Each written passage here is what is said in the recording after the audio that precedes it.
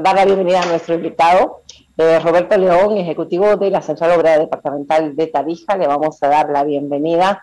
Vamos a hablar de que presenta una denuncia formal ante la, la Fiscalía por casos de corrupción en la Caja Nacional de Salud. Ya lo tenemos a nuestro invitado. Muy buenas tardes. Un gusto tenerlo en el programa. Muy buenas tardes, eh, Liliana. Muy buenas tardes, Rodrigo. Eh, gracias por la invitación y aprovechando tus medios de comunicación, también saludar a toda la población del departamento que nos están viendo en este momento, ¿no? Bueno, sabes, Roberto, que nos preocupa muchísimo el tema de la caja y entiendo que ustedes están iniciando un proceso judicial. A ver, quiero que nos comentes bien por qué, eh, cuáles los motivos de esta acusación, cómo es este tema. Mira, este Rodrigo, nosotros en las anteriores semanas ya habíamos salido a, los medios de comunicación a denunciar, a prácticamente informar de lo que estaba ocurriendo dentro de la institución de la Caja Nacional de Salud. Es increíble eh, lo que viene ocurriendo dentro de esa institución. Eh, nosotros, bueno, gracias a Dios hemos podido recabar toda la documentación, bueno, una parte de la documentación, mira, tenemos casi mil, mil hojas, que es una milésima parte de toda la documentación que estamos en este momento también solicitando eh, tenemos eh, bajo la lógica de que nosotros no vamos a ser cómplices de, lo que está ocurriendo dentro de, esta institución por, por, algunos grupos, por algunos malos funcionarios. El día de ayer hemos presentado ya la denuncia ante el Ministerio Público eh, para que el Ministerio Público, la Fiscalía, sea pues quienes investiguen y se dé pues con los verdaderos autores que prácticamente le están dañando económicamente a esta institución, ¿no? Pero, por ejemplo, en concreto, tú dices, hemos, eh, hemos revisado, eh, hemos revisado los papeles. en concreto, ¿qué tipo de, de, en el detalle de infracciones se cometen en la caja? Mira, Rodrigo, hay el tema de falsedad material. Ese es el delito por el que estamos ahorita prácticamente denunciando. la Fiscalía hay un tema de falsedad material. Se han alterado los recibos o las recetas de los médicos que, que, dan a los, a los pacientes en farmacia, esperemos que, eh, bueno, creemos que es donde está ocurriendo el delito, en farmacia se han alterado las, recetas. Rodrigo, Liliana, mira, es increíble. Un ejemplo, te dan pues, eh, el médico te receta un jarabe, ahí aparece en la, receta un jarabe, dice uno, pero los avivados, los avivados, quiero decir así, los avivados, la aumentaban en cero. Entonces, en, el sistema aparece que para ese paciente han sacado 10, 10 jarabes. Sin embargo, solo te entregaban.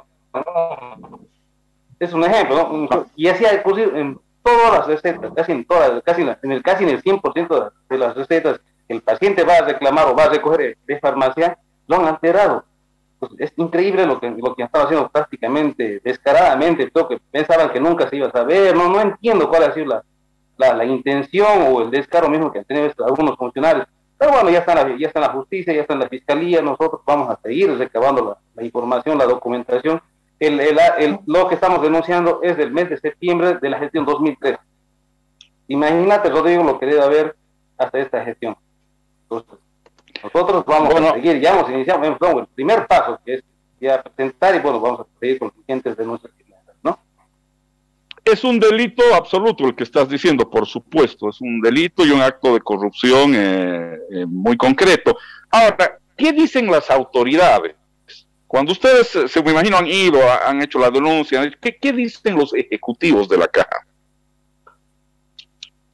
No, prácticamente se tiran las, pelotitas, eh, tratan de, no ha mi gestión, lo dicen muchos, siempre hemos escuchado esa palabra que no ha sido mi gestión, pero bueno, por eso que ahora queremos ya prácticamente sacar a los autores, juntamente, eh, por eso hemos denunciado, pues queremos saber quiénes son los implicados, queremos nombres y apellidos, porque yo aquí, yo aquí yo presumo que inclusive hay una complicidad hasta del, hasta del guardia, porque todos esos medicamentos tienen que haber salido del, centro de salud, y tienen que haber salido, es, harto, no es poquito, lo digo, no es poquito, es harto, es harto medicamento que se ha desviado de esa institución.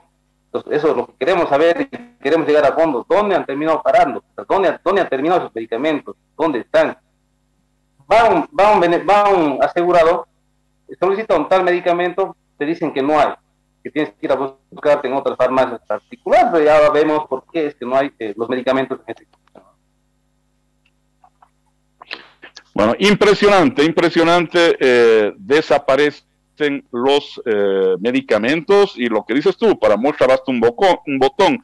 ¿Cómo será en toda la gestión este tema eh, de la desaparición de eh, medicamentos? Liliana. Roberto, una consulta antes de finalizar, que no sé si es que hay algún avance, si tienes alguna noticia con la planta de oxígeno por parte de la caja, ya que estamos hablando, a ver si es que tú que estás informado con estos temas de la Caja Nacional de Salud, si es que hay algún avance. Por el momento no hay ni un avance, mira, eso, eso es lo lamentable, mira, la, Caja Nacional de Salud con un presupuesto prácticamente millonario, eh, no se está realizando ni una de las gestiones. ¿Por qué? Porque los, los, eh, los, sindicatos, eh, que es el Casegurar y el FINRA de la Caja Nacional de Salud, prácticamente están pues este, condicionan a las autoridades a las autoridades de turno, condicionan a los directores, para, para eh, inclusive los boicotean para que no puedan realizar la gestión que necesitan. Mira, ya estamos a tres meses de concluir la gestión 2021 y no hemos gastado ni siquiera el 20% del presupuesto que teníamos para esta gestión. De la planta todavía ni siquiera, eh, conocemos que ni siquiera se ha licitado. La caja ya debería contar con su planta, con su planta de oxígeno. Ya creo que ya estamos por la quinta ola, ola